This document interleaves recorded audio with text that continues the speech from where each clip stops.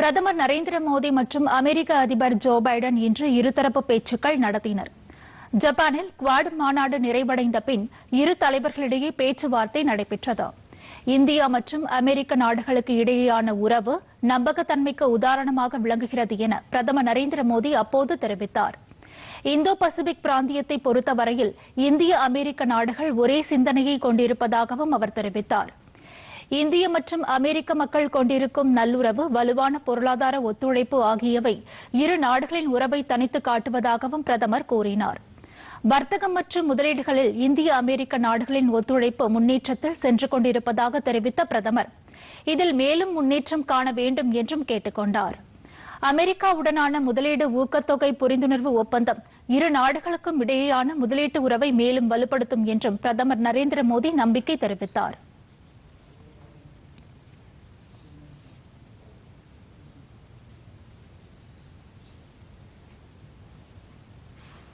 हम दोनों ही देश के इंडो पैसिफिक क्षेत्र के बारे में भी समान नज़रिया रखते हैं और न सिर्फ़ द्विपक्षीय स्तर पर, बल्कि अन्य लाइक माइंडेड देशों के साथ अपने साझा मूल्यों और साझा हितों को सुरक्षित रखने के लिए काम कर रहे हैं।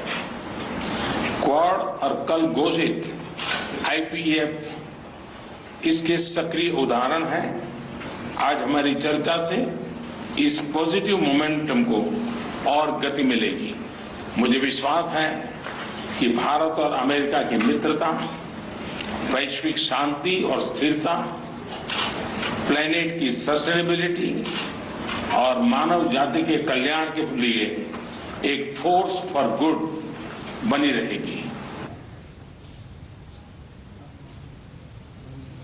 ಅಮೆರಿಕ ಅಧಿಪರ್ ಜೋ ಬೈಡನ್ ಪೇಸುಗೆயில் பல்வேறு விவகாரங்களில் இரு நாடுகளும் இணைந்து பணிபுரிந்து தீர்வு காண வேண்டிய அவசியம் உள்ளதாகவும் அதனை செயல்படுத்தி காட்டுவோம் என்றும் தெரிவித்தார் உக்ரைன் மீதான ரஷ்யா போர் தொடுப்பு குறித்தும் பிரதமர் நரேந்திர மோடியுடன் அதிபர் ஜோ பைடன் ஆலோசித்தார் I'm pleased that we've reached agreement for the U.S. Development Finance Corporation to continue its important work in India, supporting vaccine production, clean energy initiatives, and uh, I'm also glad we're renewing the Indo-U.S. Vaccine Action Program.